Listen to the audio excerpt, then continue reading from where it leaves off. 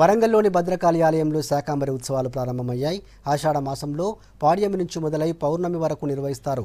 ప్రతిరోజు అమ్మవారిని ఒక్కో అలంకారంలో పూజలు నిర్వహించి చివరి రోజు అమ్మవారిని ఆలయ ప్రాంగణాన్ని పూర్తిగా కూరగాయలు పండ్లు ఆకుకూరలతో ప్రత్యేకంగా అలంకరిస్తారు.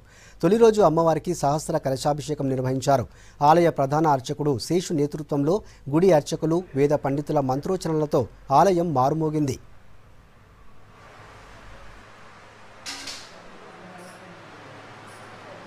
definitely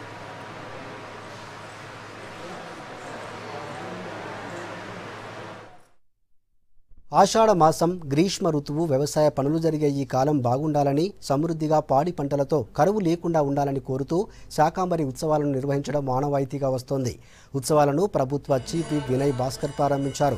కరోనా నేపథ్యంలో గుడికి వచ్చే భక్తులు జాగ్రత్తలు తీసుకోవాలని సూచించారు. ఏటా ఆషాఢ మాసంలో శాకాంబరి ఉత్సవాలు నిర్వహిస్తున్నట్లు ఆలయ ప్రధాన అర్చకులు చెప్పారు.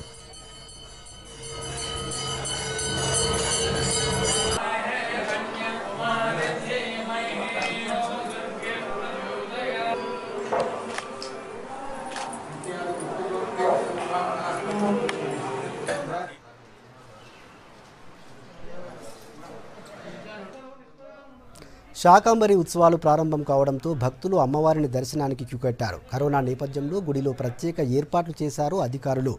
భక్తులను స్క్రీనింగ్ చేసి శానిటైజింగ్ చేసిన తర్వాతే ఆలయం లోపలికి అనుమతిస్తున్నారు. సోషల్ డిస్టెన్స్ పాటించేలా సర్కిల్స్ ఏర్పాటు చేశారు.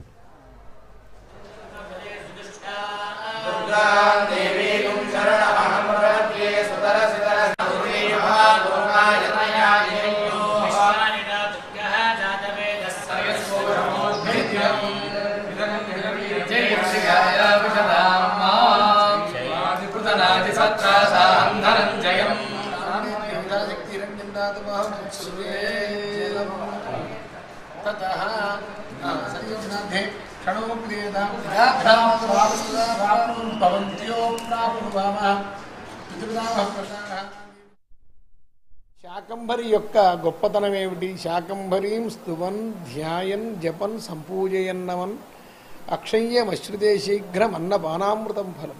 ఎవరైతే ఈ శాకంభరిని ఆరాధిస్తారో వాళ్ళకు అన్నపానామృత ఫలములు అక్షయ్యంగా సంప్రాప్తమవుతాయని శాస్త్రం చెబుతోంది. ఈరోజు మొదటి రోజు అమ్మవారికి సహస్ర కలశముల చేత అభిషేకం జరుపుతాం. సంవత్సరం మధ్యలో ఎవరి వల్ల ఎలాంటి తప్పు జరిగినా ఆ ఎవరి వల్ల ఎలాంటి అపరాధం జరిగినా ఆ అపరాధం వల్ల భూతగణం పీడింపకుండా సకల మానవాళి ప్రశాంతంగా సంతోషంగా ఉండాలి. సంవత్సరం మొత్తం జరిపిన ఆరాధనకు సాంగత్వం చేకూరాలి అన్న ఉద్దేశ్యంతో అగ్ని పురాణంలో చెప్పబడిన విధానాన్ని అనుసరించి అమ్మవారికి ఈరోజు మనం సహస్ర కలశాభిషేకం అనేది చేయడం జరుగుతుంది. భద్రకాళి అమ్మ ఆలయంలో శాకంబరి ఉత్సవాలు ప్రారంభించుకోవడం జరిగింది. గతంలో ఈ శాకాంబరి ఉత్సవాలు ఘనంగా వైభవంగా వేలాది మంది భక్తులతోని కలకలాడుతున్నటువంటి ఆలయం.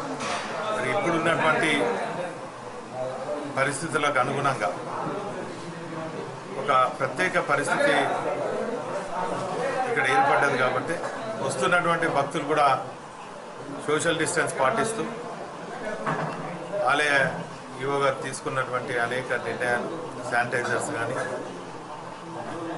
పరిమిత సంఖ్యలో భక్తులు రావటం మరి ప్రజల భక్తుల శ్రేయస్ కోసం ఈ కార్యక్రమాన్ని నిర్వహించడం.